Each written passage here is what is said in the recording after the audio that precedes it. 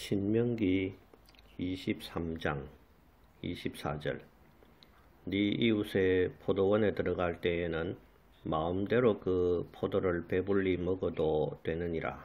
그러나 그릇에 담지는 말 것이요. 내 이웃의 곡식밭에 들어갈 때에는 네가 손으로 그 이삭을 따도 되느니라. 그러나 내 이웃의 곡식밭에 낯을 대지는 말지니라. 모세를 통하여 유대인들에게 주신 율법에는 이웃의 포도를 따 먹어도 되며 남의 밭에 이삭을 따 먹어도 된다고 되어 있습니다. 다만 그릇에 담거나 낯을 대지 말라고 하십니다. 이는 배가 고플 때에 먹을 수 있다는 뜻입니다. 이것은 생명을 사랑하시는 하나님의 마음이 담겨 있는 것입니다. 하나님은 언제나 율법보다 생명을 더 중요시 하시는 자비의 하나님이십니다. 이 땅에서 나는 농산물이 사람의 생명을 보존하기 위해 주시는 하나님의 선물인 것입니다.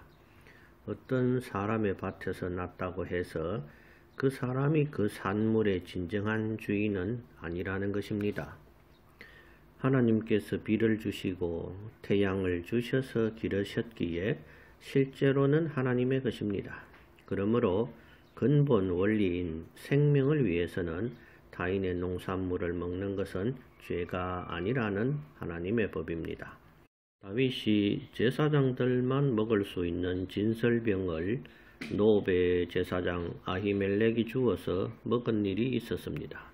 이 사건에 대하여 예수님께서 그 일은 옳은 일이라고 복음서에서 말씀하시는 것을 볼 수 있습니다. 바리새인들은 예수님의 제자들이 시장하여 밀밭을 지나면서 이삭을 잘라 먹었을 때에 안식일에 하지 못할 일을 했다고 비난했습니다. 하나님은 안식일의 주인이십니다.